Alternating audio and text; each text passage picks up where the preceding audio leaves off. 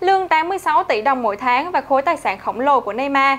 Khi Neymar rời Barcelona năm 2017 để gia nhập PSG, yếu tố đầu tiên không phải là chuyên môn mà phụ thuộc hoàn toàn về kinh tế. Theo đó, ở Paris, Neymar nhận được mức lương là 36,8 triệu euro mỗi năm hay sắp xỉ 3,06 triệu euro mỗi tháng. Đây là tiền lương cao thứ hai trong bóng đá thế giới, chỉ sau Lionel Messi là 40 triệu euro một năm ở Barca. Đây mới chỉ riêng tiền lương thi đấu cho PSG, chưa tính những khoản thu nhập khác từ việc khai thác hình ảnh cá nhân và các thương hiệu hợp đồng khác. Và trước khi vào phần xem clip, các bạn hãy nhớ nhấn đăng ký kênh thứ hai được đặt ở dưới phần mô tả để ủng hộ cho tụi mình nhé.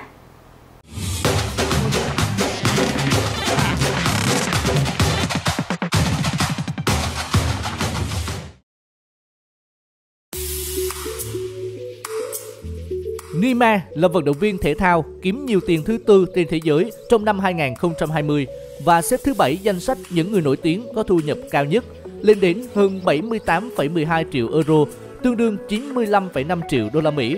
Như vậy, chỉ riêng tiền lương cố định, Neymar kiếm được mỗi tuần khoảng 714.000 euro. Bên ngoài sân cỏ, giá trị thương mại của Neymar cũng tăng theo từ các hợp đồng quảng cáo. Trước đó, Neymar cũng đã ký hợp đồng quảng cáo dài 11 năm với Nike Nhờ hợp đồng này, anh nhận được 1 triệu đô la Mỹ mỗi năm. Ngoài Nike, Neymar còn quảng cáo cho nhiều thương hiệu lớn khác, giao cầu râu Gillette, hàng đồ dùng điện tử Panasonic, trò chơi Best của Konami.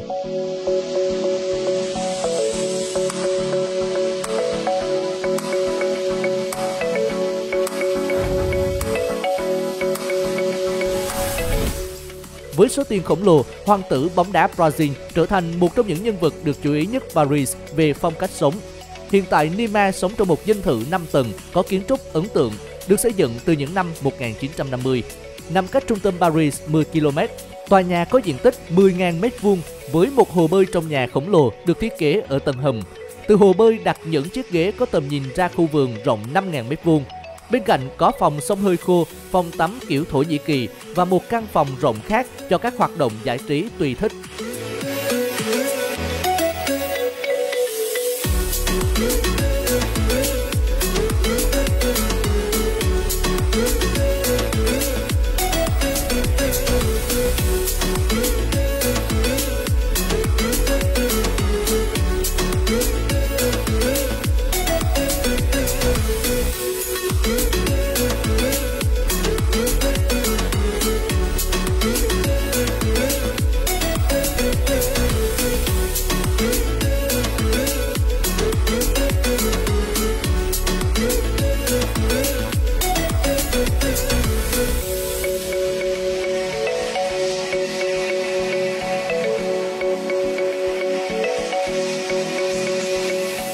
Với một người đam mê tốc độ như Neymar thì dĩ nhiên anh không thể thiếu những chiếc xế hộp sang xịn mịn.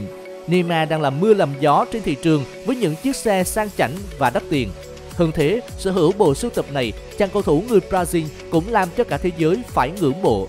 Đảm bảo rằng bạn sẽ khá ngạc nhiên với những chiếc xe mà cầu thủ đắt giá nhất thế giới đang sở hữu. Trong đó phải kể đến chiếc 455 Italia trị giá 180.000 euro hay chiếc Ferrari 458 Spider trị giá 300.000 đô la Mỹ của anh.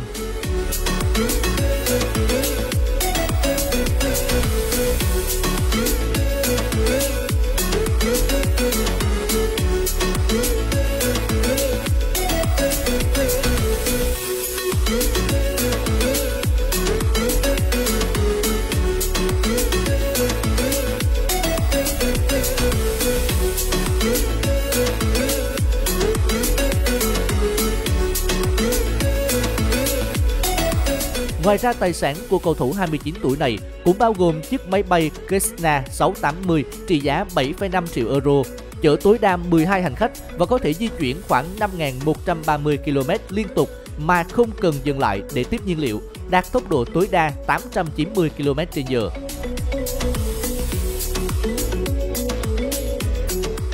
Nima còn sở hữu ngoại hình điển trai, cách ăn mặc thời thượng, chuẩn đét như người mẫu, anh không cần chia cả tiền tỷ để sắm một loạt hàng hiệu giúp mình tỏa sáng tại các sự kiện thời trang và bóng đá.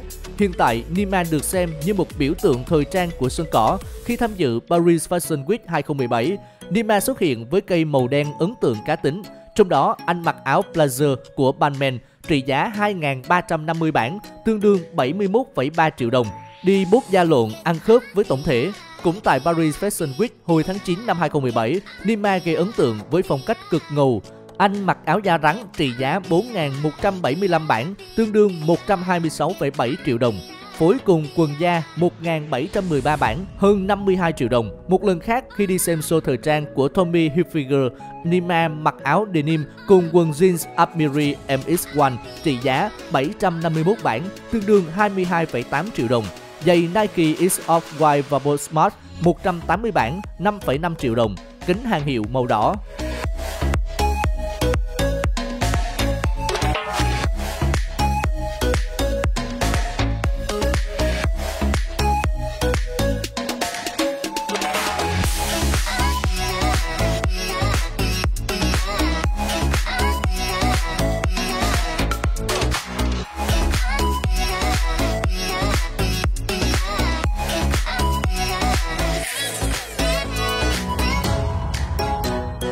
Đi theo hình tượng quý ông lịch lãm, bộ sưu tập thời trang của Nima mua sắm những món đồ hiệu xa xỉ, làm giàu thêm bộ sưu tập thời trang chất lượng.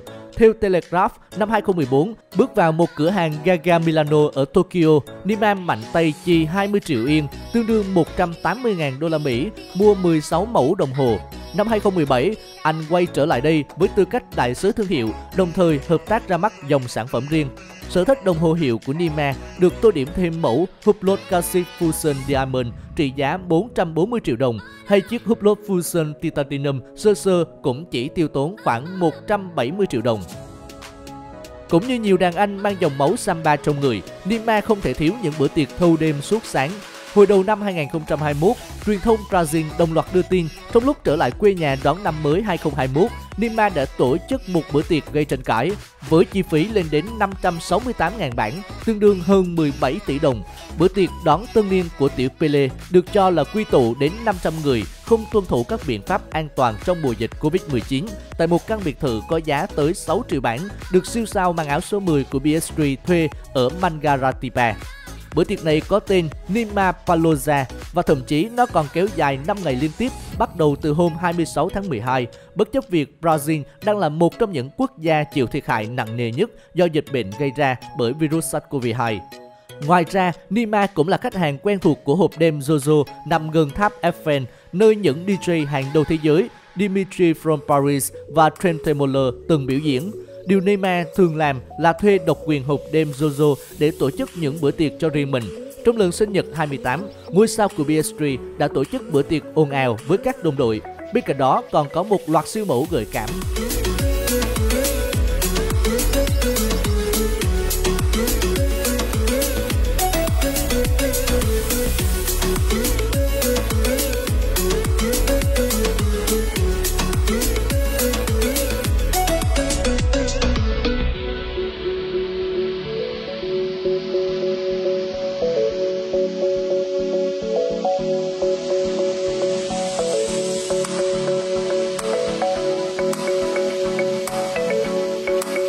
Mỗi khi sang Dubai UAE, chủ yếu cho các hoạt động thương mại, Nima gần như luôn tìm đến nhà hàng sang trọng Dutch Estate House để thưởng thức món bít tết. Tất nhiên ai cũng hiểu, tiệc tùng xa hoa với những người đẹp nổi tiếng là một điều không thiếu trong cuộc sống hưởng thụ của Nima. Ngoài việc thường xuyên thay người yêu, Nima duy trì tình bạn với nhiều siêu mẫu, ca sĩ hoặc diễn viên. Nói cách khác, vây quanh anh luôn là những bóng hồng với các bữa tiệc siêu đắt. Có thể nói, cũng vì hưởng thụ mà Neymar đôi lúc bỏ bê sự nghiệp, dễ chấn thương nặng, để rồi chưa bao giờ đạt đến đỉnh cao như kỳ vọng. Cho đến bây giờ, anh vẫn chưa thể kế thừa Lionel Messi và Cristiano Ronaldo để ẩm quả bóng vàng hay làm những điều mà người hâm mộ bóng đá từng kỳ vọng. Bạn nghĩ như thế nào về chàng siêu sao bóng đá người Brazil này cũng như khối tài sản và cách hưởng thụ cuộc sống của anh? Cho chúng tôi biết bằng một bình luận dưới video nhé. Xin cảm ơn và hẹn gặp lại.